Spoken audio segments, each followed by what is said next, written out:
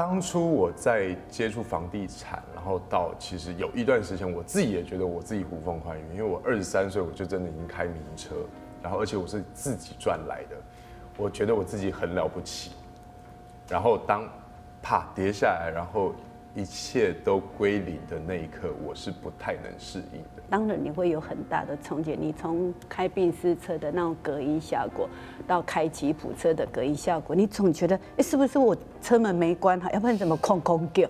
不是，那个是结构问题，对，但是那是事实啊，对，那心里的苦，你要用多久走过去，那就要看个人。各位好，欢迎收看《大爱会客室》，为您推荐的好戏《在爱之外》。我们在今天呢邀请到三位来宾，首先是我们的本尊郭翠花师姐，师姐好，你好，主持人好，全球观众大家好。继续来欢迎的是范晨飞，毕秀杰，还有全球大爱观众朋友们，大家好，我是陈飞。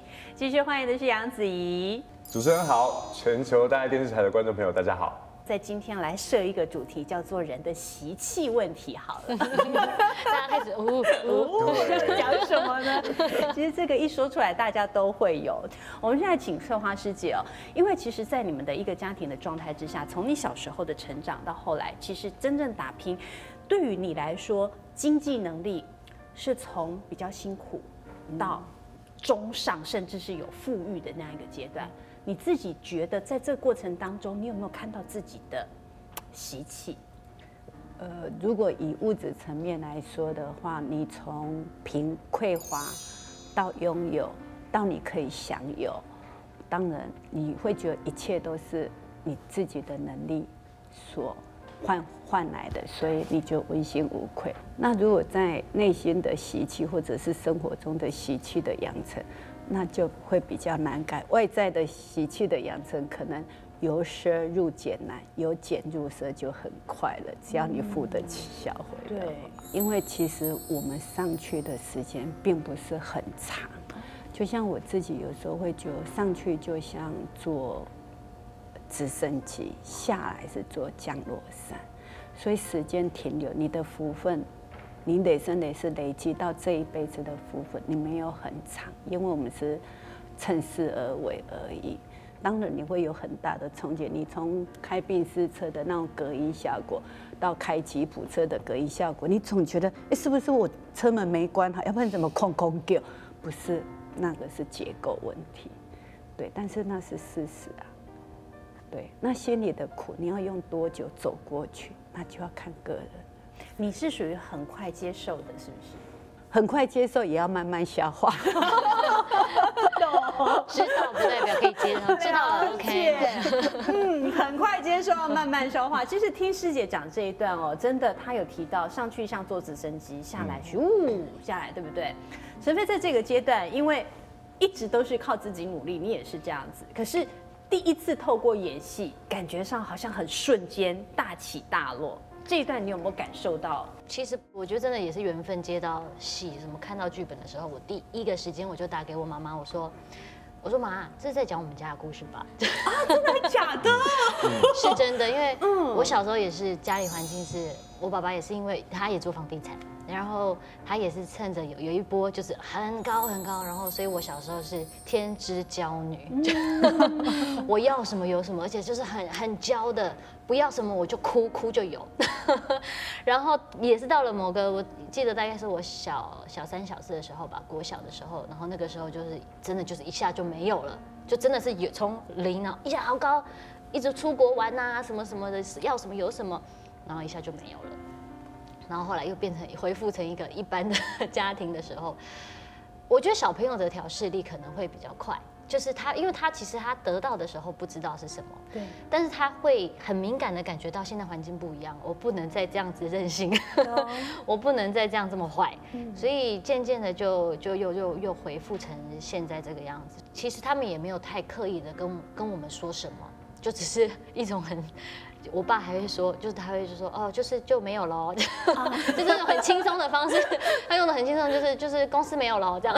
我就哦好哦，以后可能不能常常出去玩。对对对，我就哦好知道了。但是我觉得那个个性是慢慢的，你你因为他后来开始在做小生意，不是在不是建筑业呼风唤雨了，开始在做小生意。你看到你看得到父母很辛苦的在为了那一分钱开始在努力的时候。然后他们，然后你还要自己去帮忙，在做做小生意，卖一些东西的时候，你也要去帮忙。渐渐的就会，我觉得看得到，然后，自然而然就能够理解跟学习。对，自然而然。然后他们没有特别说什么，但你就会知道要去体谅那些辛苦。我想这一段子怡自己一定亲历、亲身经历的感受更大。但是我觉得我们刚刚提到没有执着在那个有，哎，这我敢担呢。这个很难，这个很难。我觉得我们因为刚刚讲说要聊那个习性，嗯，我说哇，这个很大的课题。你很多吗？不是，因为我觉得我们 我们来到这个世界上，基本上就是要怎么样去修掉我们过去生所有的恶习。嗯，对，包含呃，为什么我们会有那样的贪嗔痴？我们对一件事情，为什么我们执着在我想要？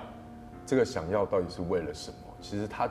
绝对都是我们郭医生带来。为什么陈飞可以在面对这么多事情的时候都可以处之泰然？对，当初我在接触房地产，然后到其实有一段时间，我自己也觉得我自己呼风唤雨，因为我二十三岁我就真的已经开名车，然后而且我是自己赚来的，我觉得我自己很了不起。然后当啪跌下来，然后一切都归零的那一刻，我是不太能适应的。我瞬间有一种绑手绑脚的，为什么？钱，就是我，我那个时候会觉得说，没有钱真的万万不能。我甚至有这种感觉。嗯，对。然后一直到我接触了演艺圈，然后我一开始是主持外景节目，然后是跑世界各地的。我到了非洲，他们一天可能只赚一块美金，他们就可以笑得非常开心的一整天。然后甚至是遇到他们的内战。然后我们真的是没电没水没瓦斯，早上要自己去井水挑水，然后我们在那边生活了一个多月，你甚至不知道自己的生命是什么时候会突然就这样结束，老天爷就这样把你收走，你完全不知道。我看到了那种不属于物质的满足，因为在他们的世界就是这么的快乐，嗯，在他们世界只要家人在身边，只要我心爱的人平安，就就非常的满足。我非常感谢老天爷，让我先体验了这样的物质生活，以后又让我去感受到什么叫做真正实实在在的爱，然后那个爱是真的可以温暖我们的心。我觉得我们可以面对自己所有的优缺点，相信自己一定可以慢慢把它改正。还好在我们慈济大家庭里面，不断的修正，不断的转化，然后让自己的心安住下。嗯，很多的因缘果报故事，也让自己知道，其实，嗯，你你要拥有一个很好的企业家，你要有管理的人才，要有业务层面，其实那是得生得是要结到很多很多的好缘，你才有很多的助力。那再回到自己的管理层面。上面的用心是非常重要的。虽然做好一个成功的事业要管理很多的人才，但是回归到最后，最需要管理的是我们自己。真的，真的，管理的好，嗯，人生就是一个无限公司。感恩三位，感恩，谢谢，谢谢，感恩，感恩您收看今天大爱会客室，我们下次见。好，五、四、三、二。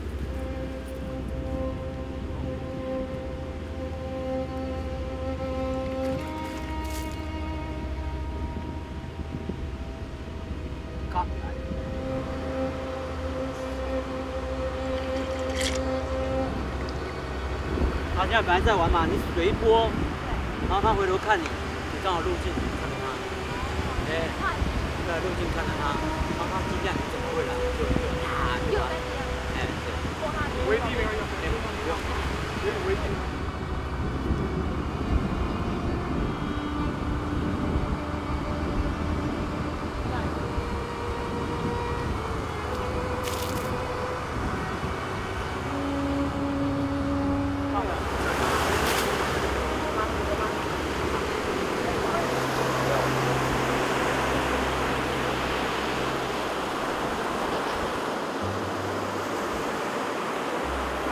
小时候没有过重机，小时候没有玩这个啊，穷穷人家小孩没有办法。他不想太早收工的意思。所以要留这一坨吗？要多漂亮一点。打一个这个上去啊！来，我来。是要缝。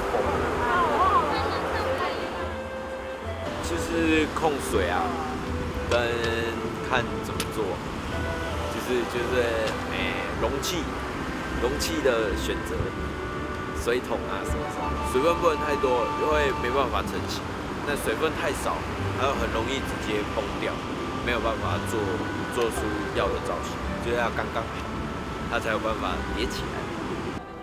上得去吗？那再放一个这个在上面。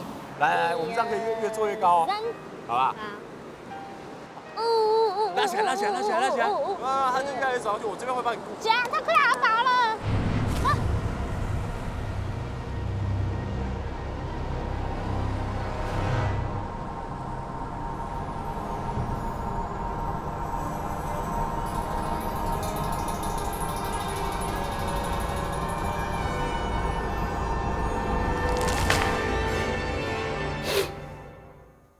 梦境啦，其实陈德安的梦境，然后带小朋友出来玩，其实陈德安根本就没有带小朋友出来玩。